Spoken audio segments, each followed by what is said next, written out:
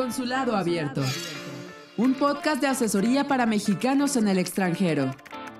Por el doctor Antonio Mesa Estrada. Si vives en Estados Unidos o al estar de viaje se presenta una situación en la que se requiere enviar dinero a México, elige la mejor opción para que llegue íntegro a tu familia. En Estados Unidos, la matrícula consular es aceptada como identificación en diversas instituciones bancarias, en las que puedes abrir una cuenta y a través de ellas podrás realizar envíos de dinero a bajo costo.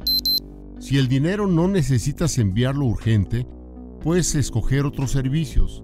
Comúnmente estos son más baratos.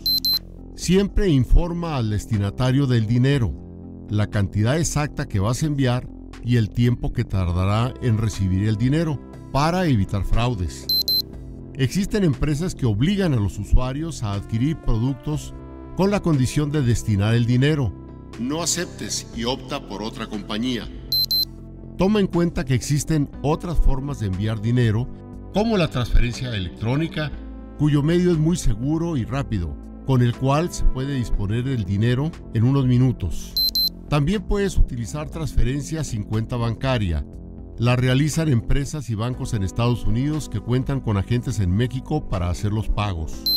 Ante cualquier abuso de la compañía, puedes presentar queja o denuncia en Profeco e informarle a tu familiar en Estados Unidos. Para hacer contacto con el doctor Mesa Estrada a través de Facebook, puedes encontrarlo como Antonio Mesa. También en Twitter en arroba Antonio Mesa E.